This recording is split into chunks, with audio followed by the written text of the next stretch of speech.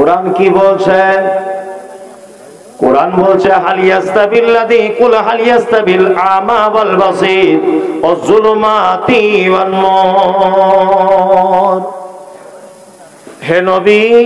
আপনি সারা পৃথিবীর মানুষকে বলে দেন, সেটা হলো কি? যারা কোরআন জানে, তারা চোখওয়ালা লোকের মতো, আর যারা জানে না, তারা অন্ধ লোকের মতো। আমরা আমাদের বাচ্চাকে দিনের শিক্ষা দিব ইনশাল্লাহ দুনিয়াবি শিক্ষাও দেন, আমি মানা করছি না। তবে দিনী শিক্ষার ব্যাপারে গুরুত্ব অনেক অনেক অনেক বেশি। কত বেশি? আল্লাহর নিকট আপনি কত ভালো থাকবেন। এই দেখুন বিশ্ব নবী জানাবে রসুল্লাহ সাল্লাহ আলী সাল্লাম একটা কথা বলেছেন। কি বলেছেন? যে কিয়ামতের মাঠে একজন হাফেজকে বলা হবে, তুমি একটা করে আয়াত পাঠ করো। হাফেজ একটা করে আয়াত পাঠ করবে। নবীজি বলেছেন, সে জান্নাতের একটা মর্যাদাতে উঠে যাবে। আর একটা আয়াত তেলাওয়াত করবে আর একটা মর্যাদাতে তুলে দেওয়া হবে। আর একটা আয়াত তেলাওয়াত করা হবে আর একটা মর্যাদাতে তুলে দেওয়া হবে। এই রকম ভাবে তার তেলাওয়াতটা যেখানে গিয়ে পৌঁছাবে, সেইখানে তার আব্বা মাকে তাকে সেই মর্যাদায় তুলে দেওয়া হবে। গোটা কিয়ামতের মাঠ মানুষ পেরেশান হয়ে যাবে। কিন্তু একজন তালিবে একজন কোরআনের হাফেজের পিতামাতাকে নূরের তাজ পরিয়ে লক্ষ কোটি মানুষের সামনে পেশ করা হবে। আজকে সমাজে যত রকমের অরাজকতা, যত রকমের পারিবারিক অশান্তি, যত রকমের বিশৃঙ্খলা সব কিছুর মূল হচ্ছে একটা। আমরা আমাদের বেটাকে দিনের শিক্ষা দিতে পারিনি। আর একটা কারণ আমরা আমাদের বাড়িতে বৌমা হিসাবে যাদেরকে এনেছি তাদেরকে সঠিকভাবে চয়ন করতে পারি নি এই দুটো জায়গা ভালো করুন। কিছু বলছেন? হ্যাঁ, এই দুটো জায়গা অবিলম্বে ঠিক করে দেন। আপনাদেরকে আরও আমি দুটো একটা হাদিসের কথা, দুটো একটা কোরআন মাজিদের কথা বলছি। খুব মনোযোগ সহকারে শুনবেন, সেটা হচ্ছে এই পবিত্র আল কোরআনুল কারিমে যারা শিক্ষায় শিক্ষিত হবে, এদের দ্বারাতে দুটো কাজ হবে। কটা কাজ? দুটো। এক আল্লাহ তাআলা বলেন, উলাইকাল মুমিনুনা হাক্কান লাহুম দারাজাতুন ইনদা রাব্বিহিম ওয়া মাগফিরাতুন ওয়া রিজকুন কারীম। সারা পৃথিবীতে যারা দিনের জ্ঞান শিখে, দিনের জ্ঞান অর্জন করে, যারা মোমেন হয়েছে, আল্লাহ বলে, তাদেরকে আমি দুনিয়াতে তিনটে পুরস্কার দিব। তার এক নম্বরের পুরস্কার হচ্ছে, তারা থাকবে তারা হবে সত্যবাদী, তাদেরকে উত্তম রুজির ব্যবস্থা করে দিব। আর আর একটা জিনিস হবে রিজকন কারিম উত্তম রুজি দেওয়ার সাথে সাথে তাদের মর্যাদাকে বাড়িয়ে দিব। আল্লাহ কোরআনে কথা বলছেন, যারা দিনী শিক্ষায় শিক্ষিত, আল্লাহ বলছে, এদের মর্যাদাকে কি করব? বাড়িয়ে দিব। এখন যদি আমার কাছে কোরআন নাজিলও হয়, তবু আর লোক বস থাকবে না। রাত্রি এখন বারোটা, সাড়ে বারোটা বাজে। আর লোক থাকে হ্যাঁ? ফ্রিতে লোক এতক্ষণ বসে থাকবে। যদি ঘোষণা থাকতো, লাস্টে দশ কেজি করে চাল আর দু কেজি করে সরিষার তেল, তবুও না কিছু হতো। কবে মরবো, তবে কবরে নেকি দেখতে পাবো। আর কেউ বসে থাকে, লোক খ্যাপা হয়েছে। হ্যাঁ বিজ্ঞানের যুগে আটকে রাখা যায়। আলহামদুলিল্লাহ। আমি আর দু পাঁচ মিনিটের মধ্যে ছেড়ে দিই। মানুষ আস্তে আস্তে করে চলে যেতে লেগেছে। আমি এখন যত মধুর কথাই বলি, আর আমার কথার দাম থাকবে না। তাই না? রাত্রি বারোটা বাজে এখন। এইটাই তার কারণ। আল্লাহ সুবান বলছেন, যারা দিনী শিক্ষায় শিক্ষিত হয়ে মোমেন যারা হতে পেরেছে, তাদেরকে তিনটে পুরস্কার আল্লাহ দুনিয়াতে দিবে। কটা? তিনটা। এক। আল্লাহ বলছে, তাদের রুজির অভাব রাখব না। যারা দিনই শিক্ষায় শিক্ষিত, এদের রুজির অভাব আছে? নাই।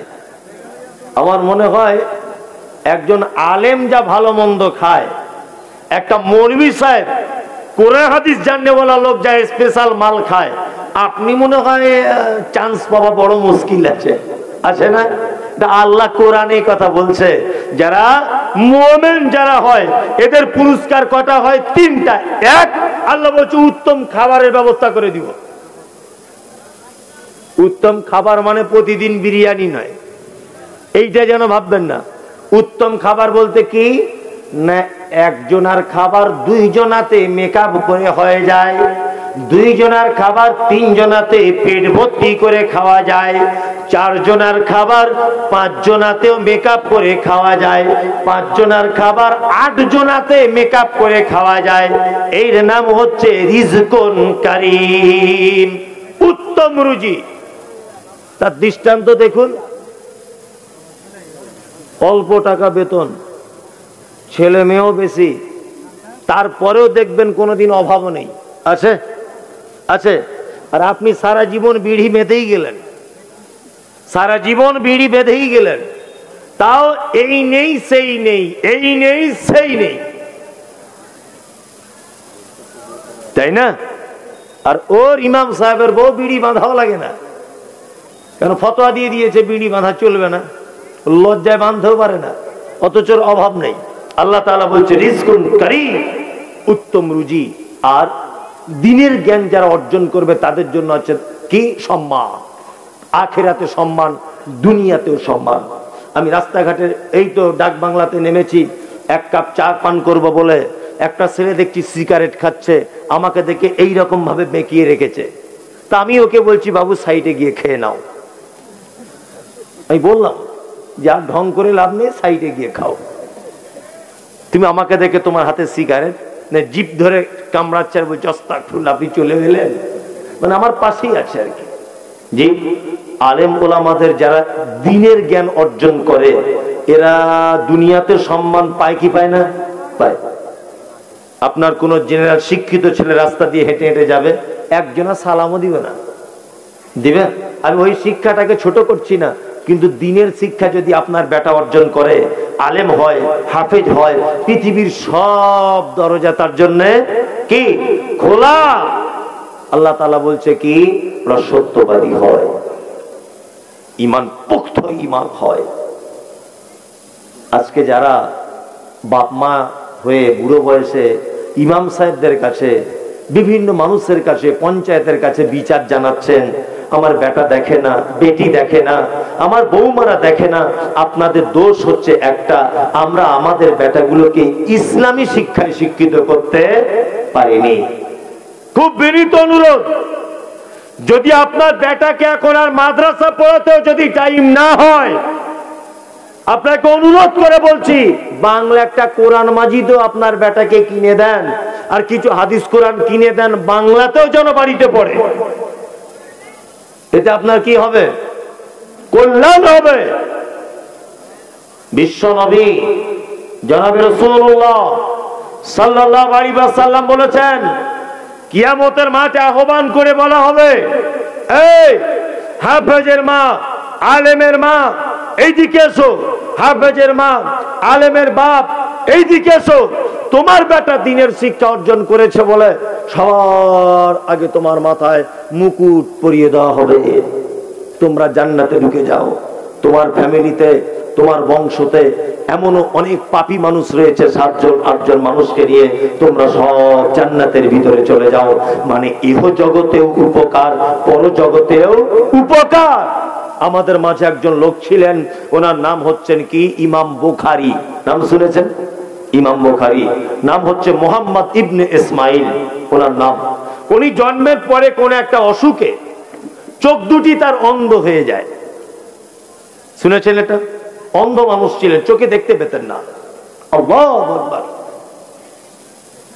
মা দোয়া করতেন, আল্লাহ, আমার বেটাকে তুমি ভালো করে দাও। আমার বেটাকে ভালো করে দিলে আমি দিনের জন্য আমার বেটাকে অফ করে দিব। ইমাম বোখারির মা দোয়া করেই যাচ্ছেন, দোয়া করেই যাচ্ছেন, দোয়া করেই যাচ্ছেন, দোয়া করেই যাচ্ছেন। একদিন তিনি চোখ বন্ধ করে আছেন দুয়ার ভিতরে ডান দিকে দেখছেন নবী ইব্রাহিম এসে বলছে, মা, তোমার বেটা দৃষ্টি শক্তি ফিরে পেয়েছে।